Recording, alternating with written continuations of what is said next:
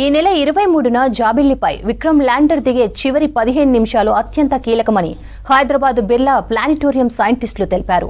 ఇవాళ నుంచి ఈ నెల ఇరవై వరకు ఇస్రో చేపట్టనున్న డి ఆర్బిట్ రెండు దశల ప్రక్రియలు చంద్రయాన్ త్రీ మిషన్లో కీలకమైనవని చెప్పారు.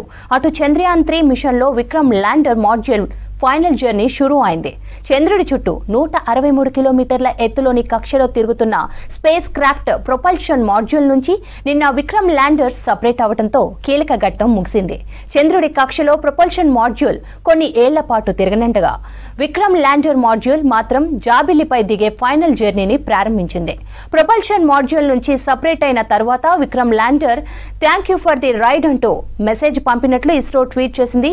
మరోవైపు డిఆర్బిట్ రెండు దశలో ప్రక్రియలో భాగంగా ఇవాళ సాయంత్రం మొదటి దశ డిఆర్బిట్ ప్రక్రియను ఇస్రో చేపట్టనుంది. సెకండ్ స్టేజ్ డిఆర్బిట్ను ఈ నెల ఇరవైన ప్రారంభించనున్నట్లు ఇస్రో తెలిపింది.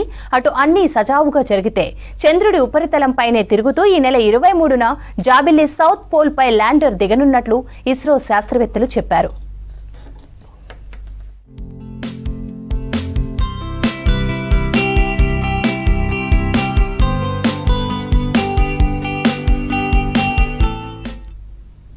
అటు ల్యాండింగ్ ప్రాసెస్లో ఒకటి పాయింట్ ఆరు ఎనిమిది కిలోమీటర్ల స్పీడ్తో ల్యాండర్ దిగాల్సి ఉంటుంది.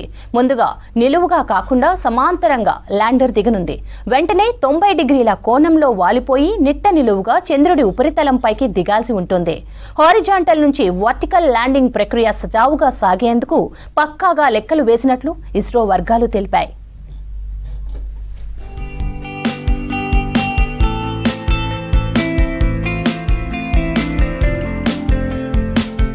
వరకు చంద్రమండలంలో దిగ వరకు కూడా మనకి విక్రమ్ ల్యాండర్ సొంతంగా మిగతా ప్రక్రియ అంతా చేయాలి. సో మొత్తానికి సో పద్నాలుగో తారీఖు నాడు ఎల్విఎం త్రీ ఎం ఫోర్ పదిహేను తారీఖు నుంచి పదిహేను జూలై నుంచి పదిహేడు పదిహేను జూలై నుంచి పదిహేడు ఆగస్టు వరకు ఈ ప్రొపల్షన్ మాడ్యూల్ తర్వాత ఈ పదిహేడు నుంచి ఇరవై మూడు వరకు మనకి విక్రమ్ ల్యాండర్ ఒక రోల్ మనం ఉండబోతుందని మనం చెప్పుకోవచ్చు. సో అనుకున్నట్టు అనుకున్నట్టుగా కనుక జరిగినట్లయితే ఇరవై మూడో తారీఖు నాడు ల్యాండింగ్ అవుతుంది. ఈ యొక్క విక్రమ్ ల్యాండర్ అయితే ఇక్కడ ఇంకా మనకి ముందు ఏమో ఉన్నాయి అని చూసుకున్నట్లయితే ఈ పదిహేడు పదిహేడో తారీఖు నుంచి రేపు ఇరవై మూడో తారీఖులోగా మనకి రెండు డిఆర్బిట్స్ ఉన్నాయన్నమాట.